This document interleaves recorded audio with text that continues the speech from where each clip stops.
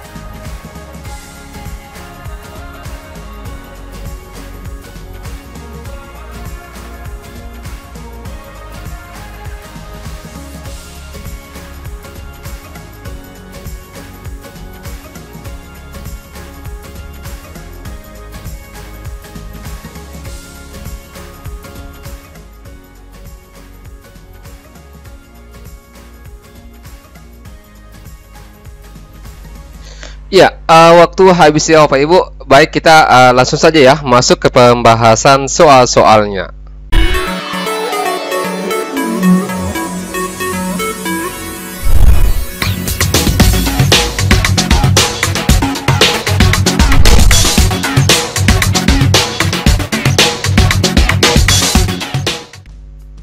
Uh, namun bagi Bapak Ibu yang belum subscribe channel ini, agar di subscribe terlebih dahulu ya, caranya gampang sekali. Tekan tombol subscribe yang ada di bawah video ini, serta agar video ini diberikan tanda jempol suka sebagai bentuk dukungan Bapak Ibu untuk channel ini. Ya, oke, kita mulai bahas soal nomor satu. Diperhatikan, ini adalah soal tentang verbal ya, tepatnya verbal sinonim. Nah, untuk tolan, ya Tulan ini sinonimnya adalah sahabat. Ya. Kalau saudara, sinonimnya ini bisa sanak. Ya. Kalau musuh, sinonimnya seteru. Nomor dua, ini masih verbal sinonim. Bergegas ini sinonimnya adalah terburu-buru. Ya, kalau Rio rendah Rio rendah ini sinonimnya adalah gempita.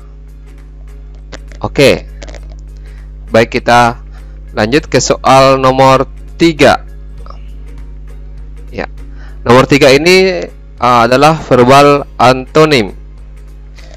Gulita Gulita bukan gurita ya. Kalau gurita itu yang hewan laut Gulita ini artinya ya, artinya kalau gulita itu adalah gelap atau pekat. Ya, bisa berarti pekat. Jadi gulita lawannya adalah atau antonimnya di sini adalah benderang. Kalau remang-remang, remang-remang itu sinonimnya adalah ini agak gelap ya tidak juga gelap ya. Tidak juga terang. Oke. Kalau ultima. Ultima ini sinonimnya adalah bagian bagian akhir atau bisa dikatakan final. Berarti lawannya adalah awal yang pernah dengar mungkin Bapak Ibu adalah yang sering didengar adalah ultimatum. Kalau ultimatum itu artinya peringatan. Ini uh, ultimatum ya sinonimnya. Jadi ultimatum. Ya. Kalau biasa sinonimnya adalah lazim atau pada umumnya. Oke. Okay kalau final ah ini sinonimnya adalah ultima kayak di atas di soalnya. Oke. Okay. next nomor 5 ya. Nomor 5 ini merupakan soal analogi atau padanan kata. Pesawat terbang ini pasangannya hanggar berarti mobil pasangannya adalah garasi. Ya. Ini kata kuncinya adalah pesawat terbang ini disimpan di hanggar atau tempat penyimpanannya. Kalau mobil tempat penyimpanannya adalah garasi. Terus nomor 6, soal analogi. Sengat ini lebah titik-titik gajah. Apa kata kuncinya? Ya, kata kuncinya di sini adalah uh, tempat alat perlindungan atau alat pertahanan Sengat ini merupakan alat pertahanannya lebah atau lebah ini memiliki alat pertahanan berupa sengat. Kalau gajah, alat pertahanannya adalah gading. Oke. Next. Nomor 7. Ya, diperhatikan. Ini masih soal analogi atau padanan kata. Cikungunya. Pernah dengar Bapak Ibu apa itu cikungunya? Saya juga baru dengar ya apa itu cikungunya baru baca cikungunya itu disebar oleh nyamuk kalau pes itu disebar oleh tikus ya. oke next nomor 8 nomor 8 ini soal pengelompokan kata ada telepon, ada radio, ada televisi, ada AC, ada pagar. Tahu Bapak Ibu apa itu pagar? Pagar itu semacam uh, alat komunikasi berupa radio, ya. Jadi ini jawabannya adalah D. Ini kata kuncinya adalah alat hmm, komunikasi yang menggunakan uh, gelombang elektromagnetik. Ya, intinya alat komunikasi. Next, nomor 9. Nomor 9 masih pengelompokan kata. Ada Kamboja, ada Melati, ada Mawar Merah, ada Kemuning, ada Anggrek Bulan. Ya, jawabannya di sini adalah Mawar Merah. Ya, kata kuncinya adalah ini kelompok bunga yang memiliki bunga warna putih.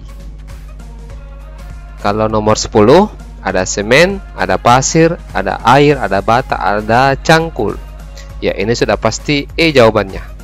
Kata kuncinya ini adalah tentang bahan bangunan. Kalau cangkul itu alat pertanian. Ya, sampai nomor 10 apa Ibu? Saya yakin benar semua ya. Oke, kita masuk ke soal nomor 11. TPA numerik. Ya. Jika 2AK tambah 2 sama dengan 10 dan 4BK tambah 4 sama dengan 6, maka A per B sama dengan berapa?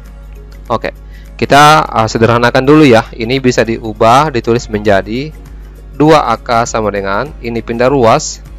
Kalau plus pindah ruas jadi minus 10 kurang 2 itu 8 jadi AK sama dengan 8 bagi 2 itu dapatnya 4 ya Oke terus kalau ini dengan cara yang sama ya berarti 4BK sama dengan ini pindah ruas.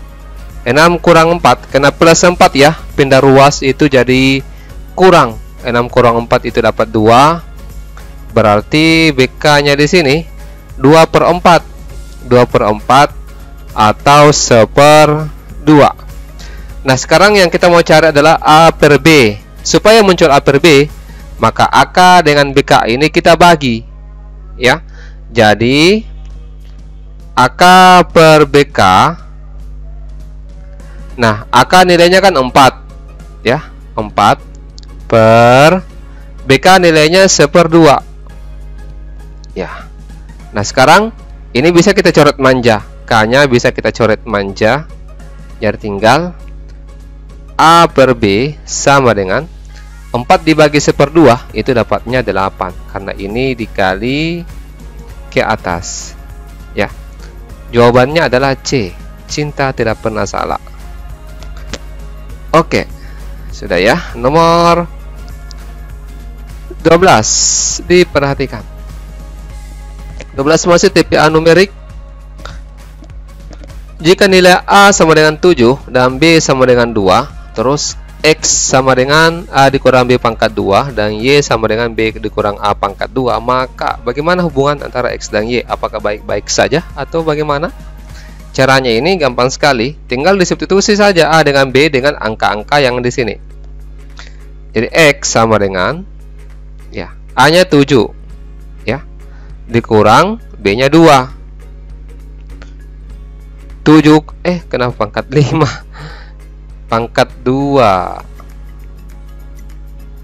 7 kurang 2 itu 5 5 pangkat 2 dapatnya 2 5 terus yang satunya Y sama dengan B kurang A. B nya 2 A nya 7 pangkat 2 2 kurang 7 minus 5 ya minus 5 minus 5 pangkat 2 itu dapatnya 25 juga.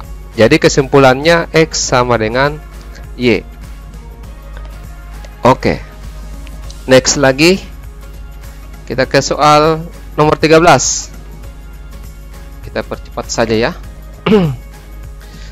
Jika 17A dikurang 13B sama dengan 27 maka berapakah 273 ya dikurang 273B dikurangi 357A sama dengan berapa? Biasanya ini kalau dapat soal begini itu di eliminasi karena ini soal SPLDV sistem persamaan linear dua variabel. Tapi lama sekali. Kita langsung lihat saja apa yang diketahui di sini. Nah supaya mengarah ke soal yang ditanyakan di sini maka saya tulis ulang dulu soalnya ya. 17A dikurangi 13B sama dengan 27 supaya mengarah ke sini maka ini kita kali kali berapa? Itu kita kali minus 21 semuanya dikali minus 21 17 dikali minus 21 itu dapatnya minus 357 A. Terus minus 13 dikali min 21 itu jadinya plus. 13 kali 21 itu dapatnya 27 3B ya 27 dikali minus 21 itu minus 567 jadi sudah dapat yang ditanyakan. Ini kan sama ya, cuma dalam urutan terbalik. Ya, jadi jawabannya adalah minus 567. Oke, next. Nomor 14. Wah, makin ke sini ini makin hot. Jika X per Y sama dengan 2 per 3 dan Z per X sama dengan 3 per 4, maka nilai Z per Y sama dengan berapa? Ya, caranya ini hmm, kita harus kreatif ya dalam menentukan solusi. Perhatikan coba ini. Saya tulis ulang dulu soalnya. X per Y sama dengan 2 per 3 terus Z per X sama dengan 3 per 4 ini kita kalikan masing-masing ruas.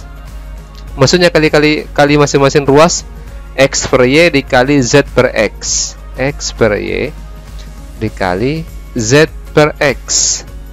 Sama dengan 2 per 3 dikali 3 per 4 ya dikali seperti ini. Ada yang bisa dicoret manja yaitu X dengan X di sini.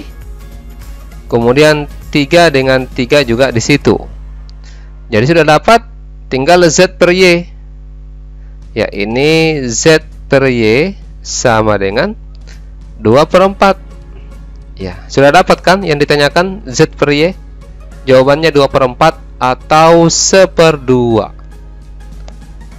Oke, bisa ya? Next, nomor 15 15 ini kalau mau dikerja manual Ya silakan saja ya, tidak apa-apa kita kerja manual. Bapak Ibu kan lancar ya dalam mengerjakan soal-soal begini. 2014 dikurangi 2016 itu minus 2 minus 2 tambah 2013 itu 1 eh 2014 dikurangi 2016 itu minus berapa? Uh, ditambah dengan 2013 dikurangi 2015 ini hasilnya adalah minus 4 ya. Kemudian ini 2015 dikurangi 2010 ditambah dengan 2018 dikurangi 2015 hasilnya adalah 8 jadi minus 4 tambah 8 itu dapatnya adalah D. 4 ya. Next nomor 16 dilihat 16 setengah dari. Ada kata dari. Kata dari itu identik dengan perkalian. Jadi kita hitung dulu ini. Seperenam dikurang seper 10 ya kita selesaikan dulu ya. Seperenam dikurangi sepersepuluh. Kita samakan penyebutnya. Ya boleh penyebut 60 ya 60 bagi 6 10 kali 1 10 dikurangi 60 bagi 10 6 dikali 1 adalah 6 jadi 4 per 60 masing-masing bagi 4 itu seper 15 Oke jawabannya tidak ada karena belum selesai. Setengah dari setengah itu berarti seperdua kali.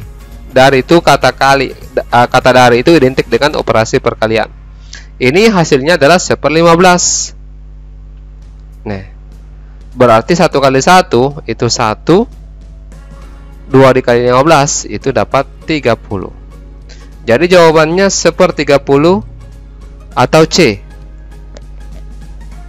Ya, bisa ya.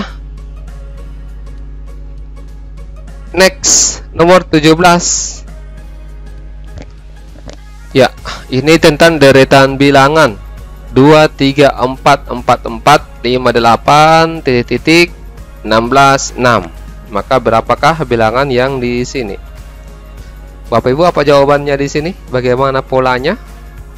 Ya, polanya itu bisa kita lihat ini 34 45 Ya. Berarti di sini adalah 5 6 Ya, jawabannya adalah B. Terus bagaimana pola-pola bilangan yang lainnya? 2 ke 4 itu kali 2. 4 ke 8 itu kali 2. 8 ke 16 itu kali 2. Ya. Maka di sini pasti 7, ya. Karena 3 4 4 5 5 6 6 7. Oke. Next, nomor 18. Wah, ini angkanya besar sekali. 505, 128, 377, 127, 127, 250, 126. Apa Bapak Ibu? Apa jawabannya di sini? Ya, ini agak mirip-mirip dengan deret Fibonacci.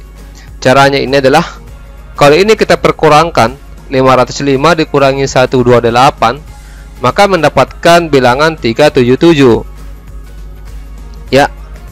terus kalau 377 dikurangi 127 maka itu mendapatkan nilai 250 terus kalau 250 dikurangi dengan 126 maka itu mendapatkan nilai 124 berarti jawabannya E ya oke okay. next Iya, nomor 19. Ya, nomor 19 ini kelihatannya agak lebih mudah ya. Di sini ada deretan bilangan 12, 24, 18, 36, 30 dan seterusnya. Nah, apa jawabannya di sini? Ya, polanya seperti ini. 12 ke 24 itu kali 2. 24 ke 18 itu dikurangi 6. Ya. 18 ke 36 kali 2. 36 ke 30 itu dikurangi 6 berarti di next ini kali 2 30 kali 2 dapatnya 60 jadi jawabannya E. Oke next lagi. Nomor 20 diperhatikan. Ini deretan huruf ya. A, B, D, G, K, dan seterusnya. Ditanyakan dua huruf selanjutnya. Bagaimana polanya ini? Supaya untuk memudahkan maka boleh kita menjadikan huruf-huruf ini dalam bentuk angka. Misalkan A ini adalah satu, ya, B ini huruf kedua, D adalah huruf keempat, G huruf ketujuh, K huruf ke-11. Maka berapa di sini? Polanya satu kedua itu ditambah dengan satu. Terus dua keempat itu tambah dua 4 ke 7 tambah 3 7 ke 11 tambah 4 berarti di sini tambah 5 11 tambah 5 itu 16 huruf ke-16 adalah huruf P. Ya berarti sudah pasti jawabannya D terus di sini tambah 6 16 tambah 6 itu 20, 22 huruf ke-22 adalah V. Jadi PV delta ya. Oke, siapa yang benar sampai di sini ya benar semua Pak Ibu? Ya, saya yakin Bapak Ibu benar semua sampai di nomor 20. Oke, kita masuk ke nomor 21. Ini soal penarikan kesimpulan atau silogisme. Semua karyawan yang bekerja di kantor kelurahan menggunakan dasi. Tony adalah anak yang rajin. Nah, Tony merupakan karyawan yang magang di kantor kelurahan. Kalau begitu jawabannya adalah D. Tony menggunakan dasi saat di kantor kelurahan. Ya. Oke, nomor 22. Nah, ini soal silogisme. Jika Arman suka jeruk, maka Asman suka pepaya. Mereka mereka bersaudara dan Asman tidak suka pepaya, namun ia suka jeruk. Jadi, jika Arman suka jeruk, maka Asman suka pepaya. Kenyataannya, Asman tidak suka pepaya, berarti Arman tidak suka jeruk. Jawabannya C. Ya, bisa ya? Next nomor 23. Semua bunga di Taman Khatulistiwa berwarna putih. Semua wanita suka bunga. Tika membawa bunga biru. Maka bisa dipastikan bunga yang dibawa Tika itu bukan dari Taman Khatulistiwa. E. Oke, ya. Nomor 24. Pohon kurma dapat berbuah dengan baik jika dirawat. Ya, Teguh punya kebun kurma di halaman belakang rumah. Teguh selalu merawat kebun kurma tersebut. Artinya, ya Teguh selalu merawat kebun bunga. Artinya, pohon buah kurma, pohon kurma di kebun Teguh dapat berbuah dengan baik. A. Next dua nomor terakhir soal figural ya ini dulu pak diganti ya. Maaf ini harusnya TPA figural ini deretan gambar. Perhatikan tanda panahnya. Bagaimana polanya ini? Ya. Ini ke sini itu bergeser tanda panahnya sejauh 45 derajat. Pas ke sini ini kan awalnya di sini ya. Bergeser ke sini. Berarti ini pergeserannya 90 derajat. Nah, awalnya kan tadi di sini ya, digambar di sini. Bergeser ke sini. Ini sejauh 135 derajat. Berarti 45, 90, 135 berarti nanti ini bergeser sejauh 180 derajat. Awalnya di sini berarti nanti gambar berikutnya adalah tanda panahnya di sini mengarah ke kanan. Berarti jawabannya E. Ya, bisa ya. Next, nomor 26. Ya, 26 ini kita cukup lihat saja garis uh, sisinya ya. Banyaknya ini. 1 2 3 ada 3 1 2 3 4 ada 4 1 2 3 4 5 ini bertambah-tambah satu sepertinya. 1 2 3 4 5 6 berarti nanti cari yang sisinya ada 7 1 2 3 4 5 6 7 sudah pasti A jawabannya ya A Oke, Bapak Ibu saya kira untuk sementara sampai di sini dulu ya. Uh, tryout yang kedua dari Ruan Tentor untuk TPA super lengkap. Saya berharap Bapak Ibu agar men-share video ini dan saya mendoakan Bapak Ibu yang nonton video di channel Ruan Tentor ini itu selalu dimudahkan urusannya dan nanti pada saat tes itu diberikan kelulusan. Baik, terima kasih atas perhatiannya. Wassalamualaikum warahmatullahi wabarakatuh. Dan semangat pagi.